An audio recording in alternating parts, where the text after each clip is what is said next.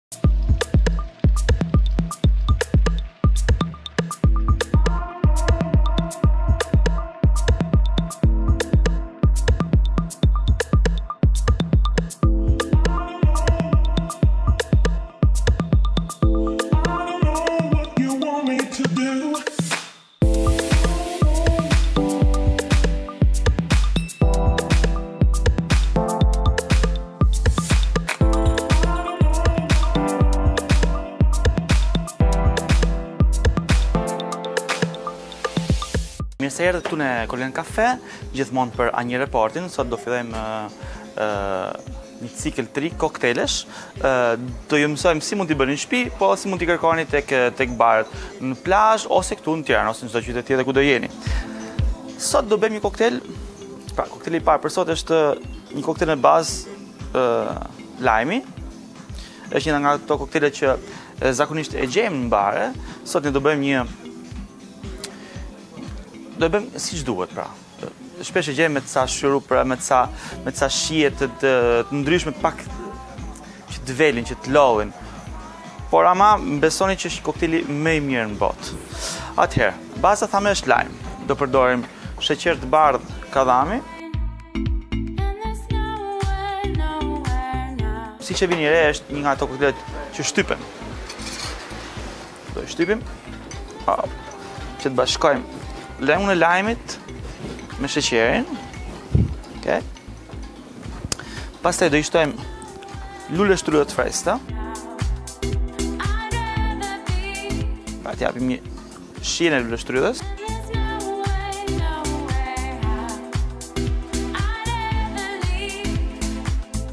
Kemi një bashkim perfekt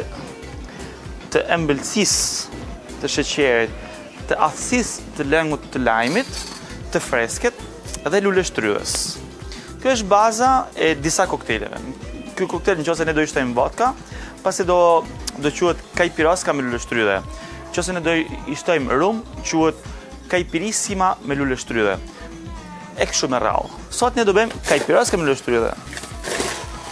Do i shtojmë akull të grirë.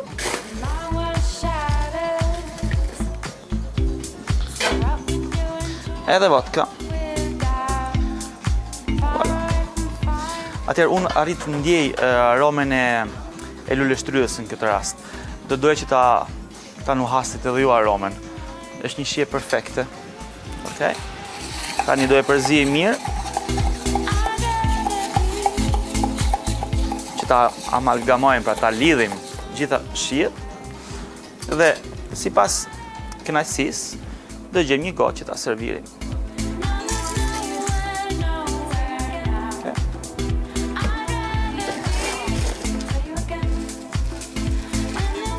Do e dekorojmë me petale luleshtrydhe.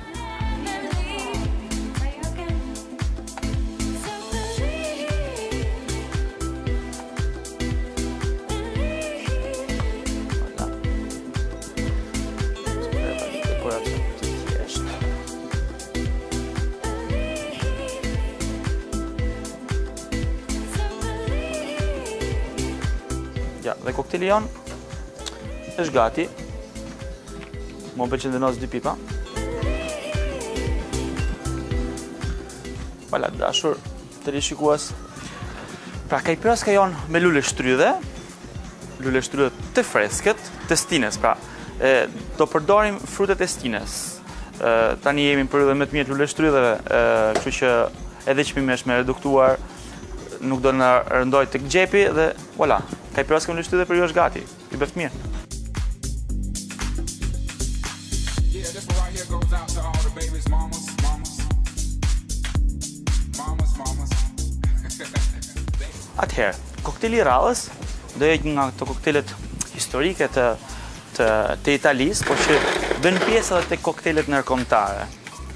Pra, do bëjmë Negronin. Negroni historia thotë që lind në në Firenze, në një bar që quhet Negroni, ju kur të ndodheni me pushime tani të verës ose kurdo që shkoni në Firenze sepse është një qytet fantastik që mund të vizitohet në verë, pranverë, vjeshtë, do të thotë edhe në dimër, do ta provoni Shkoni ta provoni Negronin tek bari nga ka marrë emrin. Ë legjenda thotë që Konti Negroni e shpiku atë, por baza fillon nga Milano Torino, që është që ishte bashkimi i një bitëri që bë që prodhohej në Milano, prodhohet edhe sot, edhe një vermuti që prodhohej në Torino, pra ishte thjesht Për të internacionalizuar një koktel italian, që arritën në mënyrë perfekte. Okej, pra bashkojmë bitër me vermut të kuq. Okej. Dhe do e rrisim gradën alkolike me xhin. Okej. Sekreti i një negroni të mirë janë barazia e tre ingredientëve, pra të tre ingredientët kanë të njëjtën sasi. Do përzihen mirë, do ftohen. Unë pavarësisht se pëlqej gjithë, zakonisht përdor gota pak me ngjyra të ndryshme, të fshehin, por negronin sikur ma ka qefi ta ta shikoj ashtu siç e kam mësuar, ë. Ë, se e ka dhe ngjyrën e bukur, është ngjyrë e kuqe, ngjyrë Ngjyra e dashurisë. Tani do kalojmë një fetë portokalli tek buza që kur ta shijoni të ndjeni atë fragrancën e portokallit që bashkohet në mënyrë perfekte si me rumin, si me xhinin edhe me, edhe me bitërin edhe me vermutin e kuq.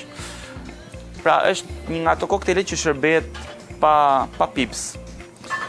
Voilà, atëherë, koktejli i dytë për sot, për Rreze Dielli, për A1 Report nga Kolonial Kafe, është gati, shumë italian.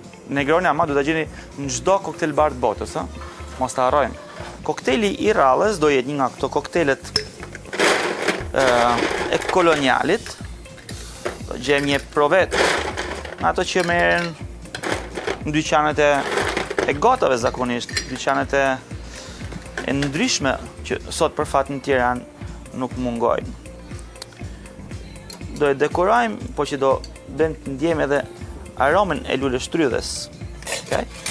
Do presim akoma ca petale luleshtrydhe, unë vazhdoj t'i quaj gjithmonë petale këto fetet e holla të luleshtrydhe, sepse kanë formën e zemrës, janë shumë bukra, kjo tregon që edhe unë jam, jam çikë romantik. Voilà. Jemi çikë poshtë, Sepse pastaj po na ngjiten gjitha lart, do humbim efektet e bukura. Pastaj do presim ca kokrra rrushi të zi. Shikoj se këto janë koktele gjithmonë që mund t'i bëjmë edhe në shtëpi, ë. Mos t'i duken shumë të komplikuara.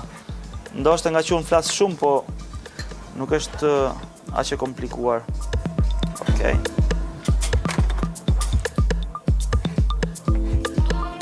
Edhe petalet e rrushit zi që janë transparente në mes, ama kanë atë bordurën. Voilà. Tani, do them që do bëjmë te kjo. Ok, të shtojmë dhe një kokërr akull, dhe sa gjithmonë, sa më shumë akull, aq më formë të bukur ka kokteli. Aq më i ftohtë rri koktejli. Koktejli duhet konsumohet gjithmonë i ftohtë. Edhe sa më shumë akull e ruan temperaturën e ftohtë pra. Sasi e madhe akull. Tani, do bëjmë një akrobaci të shpejtë. Do shtojmë lëng lajmi edhe vodka. Oj, da.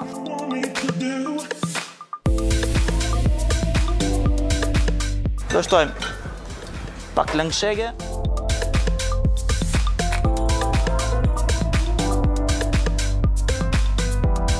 Okay, dhe ingredientin tonë special.